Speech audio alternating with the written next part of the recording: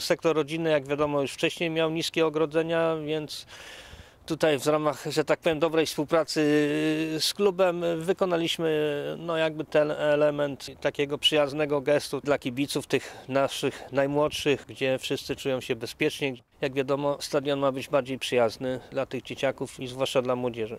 Zniknęły też z tego co zauważyliśmy te wstrętne druty kolczaste. Drutów to już e, nie było w ubiegłym roku, a nawet i wcześniej, natomiast likwidowaliśmy wszystkie uchwyty, e, które umożliwiały wieszanie tych drutów. Także myślę, że w tym elemencie żegnamy się jakby z przeszłością, która no, kojarzyła się e, większości z agresją na stadionach. Myślę, że teraz i, i dzięki temu będziemy także czuć się troszeczkę no, przyjemniej i bezpiecznie i jakieś tam będziemy tutaj te mecze oglądać w lepszej atmosferze. Jakie jeszcze inne prace zostały wykonane na stadionie? Mamy zakupione nowe siatki przechwytujące na boisko e, treningowe numer 2.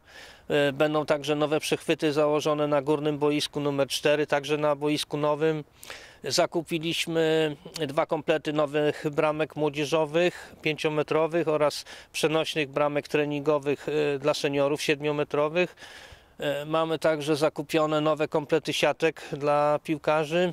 To wróćmy jeszcze na chwileczkę do płotów. Powiedział Pan, że chciałby, żeby na innych sektorach także zostały one obniżone. Kiedy to może nastąpić? Pogoń Szczecin S.A. jest organizatorem imprezy masowej, no a e, z kolei, żeby taka impreza masowa się mogła odbywać, no musi klub mieć stosowne pozwolenia. Mam tu na myśli opinię Straży Pożarnej i Policji, więc no jeżeli e, taka zgoda zostanie właśnie przez te ciała tutaj wydana, no ja mogę zadeklarować, że w ciągu tygodnia, a, a nie dłużej niż dwóch, e, możemy wyciąć wszystkie płoty.